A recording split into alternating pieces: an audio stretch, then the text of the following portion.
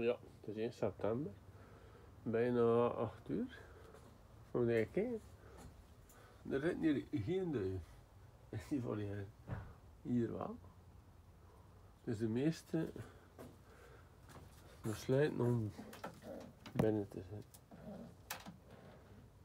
Er liggen een aantal nestjes nu. Ik heb ze al een aantal keer getoond en nu zijn er al kleine jongen. Ik ben van plan ze nog een tijdje samen te gaan. Want ze voelen zich gelukkig.